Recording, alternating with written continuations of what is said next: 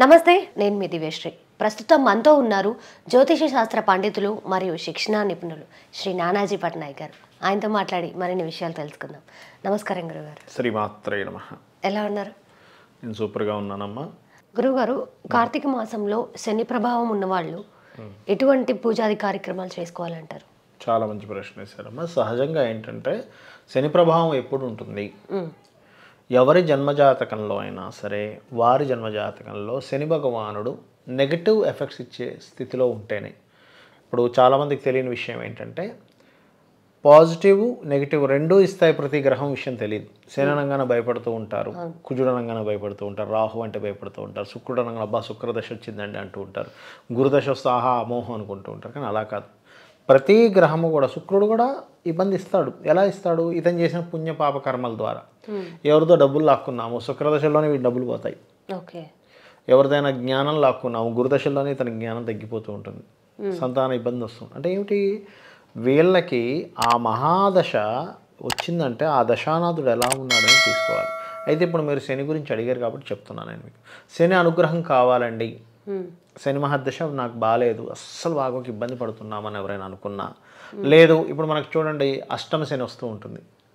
ఏలినాడు శని నడుస్తూ ఉంటుంది. అర్ధాష్టమ శని నడుస్తూ ఉంటుంది. కాబట్టి ఈ శని యొక్క అనుగ్రహం కూడా కలగాలంటే ఈ కార్తీక మాసంలో ప్రత్యేకంగా చేయవలసినటువంటి పనులు ఏమిటి అని చెప్పి చూసుకున్నట్లయితే సహజంగా శివుడు అభిషేక ప్రియుడు. అభిషేకంతో పాటు ఓం నమ శివాయ మంత్రము అదేవిధంగా ఈ కార్తీక మాసంలో ఎన్ని ఎక్కువ దీపాలు కనుక మీరు వెలిగించినట్లయితే అంత దోషం తగ్గుతుంది. శివానుగ్రహం కలిగినప్పుడు ఏమవుతుందంటే శివానుగ్రహం కానీ ఆంజనేయ స్వామి యొక్క అనుగ్రహం కానీ కాలభైరవ అనుగ్రహం కానీ లేదా ఉగ్రరూపాల యొక్క అనుగ్రహం కానీ కలిగినప్పుడు శని ప్రభావం తగ్గుతుంది శాస్త్రరీత్యా చూసుకున్నట్లయితే. అందుకే చూడండి మీరు అబ్జర్వ్ చేయండి. ఇప్పుడు రుద్రాంశ అంటారు మన ఆంజనేయ స్వామిని. ఆంజనేయ స్వామి రుద్రాంశ కాబట్టే మీరు గనక ఆంజనేయ స్వామి యొక్క ఆరాధన లేదా ఆంజనేయ స్వామి యొక్క ఆలయాలకు వెళ్తున్నప్పుడు ఏం జరుగుతూ ఉంటుందంటే మీకు అక్కడ ప్రత్యేకంగా మీకు ఈ వెళ్తున్నప్పుడల్లా శని ఏలినాడు శని యొక్క ప్రభావం తగ్గుతున్నట్టుగా మీకు తెలుస్తూ ఉంటుంది. అవును ఇంత ఎఫెక్ట్ లేదేంటి? నేను హ్యాపీ ఫీల్ అవుతున్నాను అంటే చాలామంది చెప్పంగా నేను విన్నాను కూడా నేను చెప్పినప్పుడు వాళ్ళు చేస్తున్నప్పుడు. ఆ రకంగా ఏంటంటే ఈ యొక్క కార్తీక మాసంలో మీకు శని యొక్క ప్రభావం తగ్గి శివానుగ్రహం మరియు శని యొక్క అనుగ్రహం కలగాలి అంటే మీకు వీలైనన్ని సార్లు నిత్యము దీపారాధన ఖచ్చితంగా చేయాలి ఉదయం సాయంత్రం. ఒకటి. రెండవది మీకు దగ్గరలో శివాలయాలు ఉంటాయి విష్ణు ఆలయాలు ఉంటాయి. కదా అక్కడికి వెళ్ళి ఖచ్చితంగా కార్తీక దీపము అంటారు అందుకే. కార్తీక మాసంలో కార్తీక దీపం అంటూ ఉంటారు. కాబట్టి నవగ్రహాల దగ్గర కార్తీక దీపం వెలిగించండి. శివాలయంలో కార్తీక దీపం వెలిగించండి. ఉదయం అయితే ఉదయం సాయంత్రం అయితే సాయంత్రం. చాలామందికి ఏంటంటే నాకు ఉదయం కుదరదండి సాయంత్రం వెలిగించొచ్చా సాయంత్రం కుదరదండి ఉదయం వెలిగించొచ్చా అని అడుగుతూ ఉంటారు. అలా వెలిగించడం. అదేవిధంగా నదిలో దీపాన్ని వదలడం చేస్తూ ఉంటారు కార్తీక మాసంలో. నదిలో దీపం వదిలితే ఏమవుతుందంటే శివకేశవులకి ఇద్దరు అనుగ్రహం కలుగుతూ ఉంటుంది. ఓకే. ఆ రకంగా ఏంటంటే నదిలో దీపాన్ని వదలడం. వీలైతే గనక ఈ యొక్క కార్తీక మాసంలో నూనె దానంగా ఇవ్వడం. బెల్లము దానంగా ఇవ్వడం. నువ్వులు దానంగా ఇవ్వడం. గొడుగు కుండ ఏదైనా సరే ఒక ఇనప వస్తువు వాళ్ళు వాడుకోవడానికి పురోహితులు వాడుకోవడానికి. లేదు మీకు దగ్గరలో పురోహితులు ఎవరు లేరు. పోనీ మీకు కిందన పనిచేసే వాళ్ళు ఉంటారు. వాళ్ళకి ఏదైనా ఇవ్వడం. వాళ్ళకి ఇవ్వడం వల్ల కొంత పుణ్యం వస్తుంది కానీ దోషం తగ్గడం మాత్రం ఎప్పుడు కూడా ఒక దానం ఇచ్చేటప్పుడు వాళ్ళు గాయత్రి జపం చేసినటువంటి బ్రాహ్మణులై ఉండి వాళ్ళు ఆశీర్వాదం చేయాలి. అప్పుడే ఇంకొంచెం అధిక ఫలితం అనేటువంటిది వస్తుంది. ఓకే. ఇవి ముఖ్యంగా చేయాలి. అయితే ఎప్పుడు కూడా ఇప్పుడు మనం ఏలినాడు శని గురించి వచ్చింది కాబట్టి చెప్తున్నాను. ఏలినాడు శని కానీ అర్ధాష్టమ శని కానీ అష్టమ శని కానీ జరిగేటప్పుడు పొరపాటును కూడా మధ్యాహ్నం పూట నిద్రపోకూడదు. ఇవి నిద్రపోతుంటే వీటి ప్రభావం ఎక్కువగా ఉంటూ ఉంటుంది కార్తీక మాసంలో.